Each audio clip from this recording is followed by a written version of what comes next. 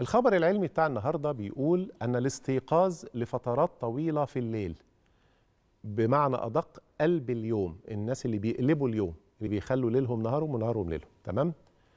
الاستيقاظ لفترات طويلة خلال الليل يجعل الإنسان أكثر عرضة للإصابة بأمراض القلب ومرض السكر من النوع الثاني طبعا أمراض القلب والشرايين ومرض السكر من النوع الثاني البروفيسور ستيفن مالن وده الباحث الرئيسي في الدراسة وهو من الخبراء المتخصصين في عمليات التمثيل الغذائي على فكرة.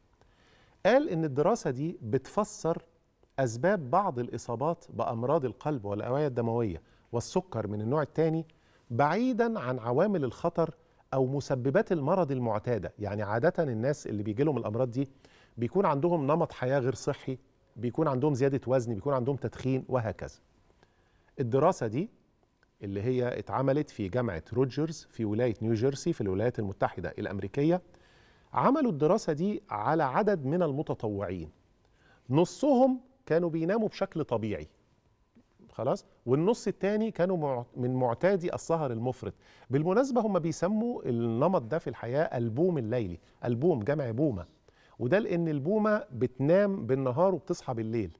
فتلاقوا حتى في المصطلحات الطبية كده يقولوا إيه early bird هم قصدهم على اللي بينام بدري وبيصحى بدري أو night owl night owl يعني البومة الليلية.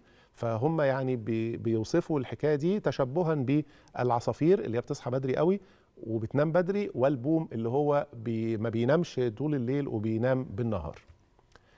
الدراسة زي ما قلنا اتعملت على نصين. نص كانوا بيناموا طبيعي ونص اللي هم كانوا من البوم الليلي اللي هم بي بي بيصحوا طول الليل.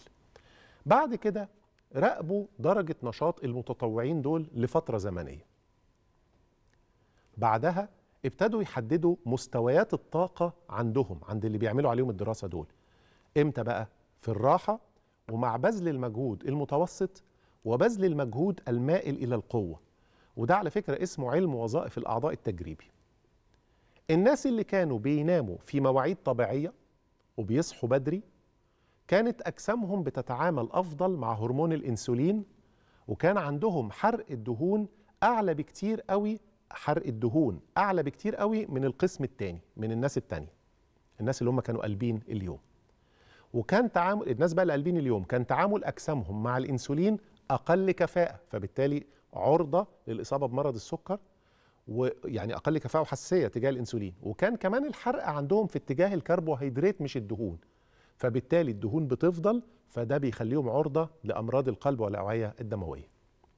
النتائج دي كانت في كل الأحوال يعني سواء كانت في وقت الراحة أو أوقات بذل المجهود باختلاف درجاته. الدراسة كمان قالت إن مش بس اللي قلبين اليوم مش بس دول اللي هيتأثروا لكن كمان الناس اللي بيسهروا كتير وبتضطرهم الظروف إن هم يصحوا بدري عشان الشغل مثلا أو أوقات المدارس وهكذا. دول كمان التأثيرات السلبية عندهم بتكون ملحوظة جدا.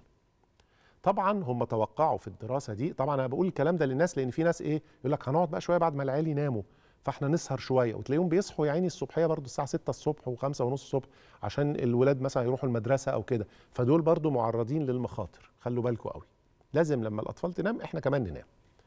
في الدراسة دي لما طلعت يعني وطلعت حديثا جدا جدا قالوا إن هيحصل كتير من المناقشات بسببها خاصة حوالين الناس اللي طبيعة عملهم بتكون في ورديات ليلية. ما في ناس شغلها شفتات نايت شيفت يعني شفت شفتاتهم بالليل. فعشان كده الدراسة برضو اهتمت بالجزئية دي وطلعت توصيات مهمة قوي. قالت إن في ضرورة لمراعاة عدم العمل الليلي لأكتر من ثلاث ليالي متواصلة. يعني اللي بياخدوا ورديات ليلية ما يشتغلوش أكتر من ثلاث ليالي متواصلة. يعقبها فترة عمل نهاري لمدة 18 يوم. وطبعا الناس اللي بتضطرهم الظروف للعمل في ورديات ليلية لازم يكونوا عندهم مراعاة الالتزام بعدم التدخين والطعام الصحي وممارسة رياضات زي رياضة المشي.